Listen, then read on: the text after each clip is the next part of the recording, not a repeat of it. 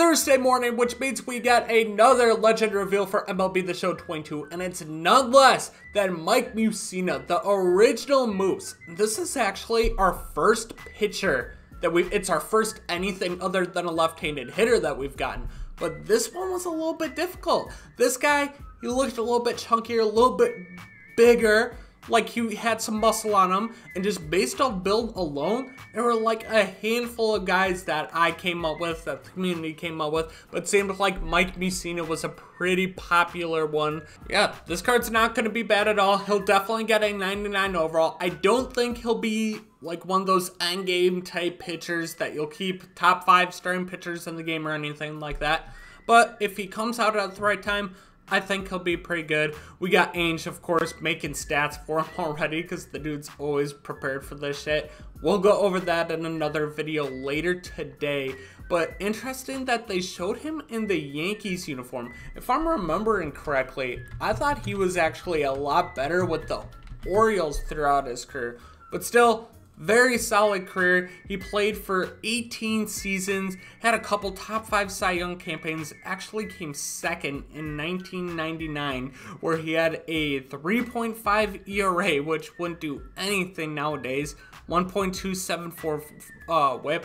Yeah, these stats just don't live up to what we see nowadays. What did who finished first in Cy Young voting that year? AL side, Pedro Martinez did. Pedro Martinez had a 9.8 WAR, 23 and 4. Yeah, Pedro's season was insane. And actually, 9.8 WAR for Pedro. Then Mike Mussina, who was second, only had a 4.4 WAR. So he probably shouldn't have been up for the award that year. But still, he had a very solid career He was got a lot of wins with the Baltimore Orioles. ERA was always right around like that three and a half mark.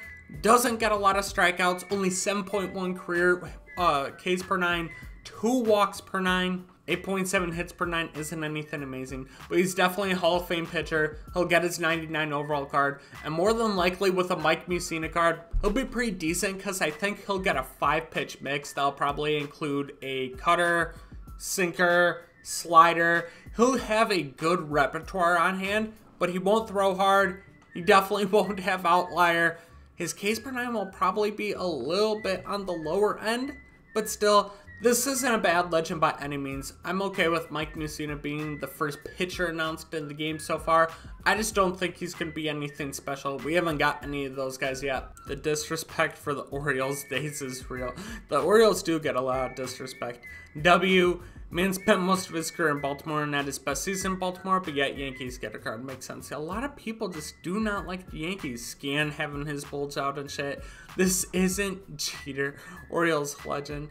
So a lot of people W. A lot of people like that Mike Mussina's in the game, and they also don't like that he's in a Yankees uniform over an Orioles uniform. But I'm sure some of his better cards will be in an Orioles uniform. Probably get a signature series or something over the Orioles legend. But let me know what you think of Mike Mussina being the first pitching legend we see in the game. There's still a lot of big names we can get. I obviously am really holding out, holding out hope that Roy Halladay, we have his rights, and then nobody knows what the fuck is going on with Randy Johnson. If Randy Johnson's being in the game, obviously it's a W. He's going to be the best pitcher in the game. He's one of the better legends we've ever gotten. If he's not, then this is going to be very, very, very disappointing.